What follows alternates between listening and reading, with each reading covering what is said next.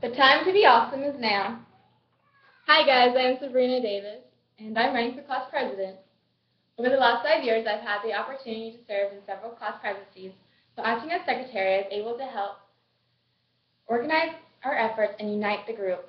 As counselor and class president, I learned to delegate to maximum, maximize our efforts, and take charge of the leading way. Each time I have learned a lot and had a ton of fun.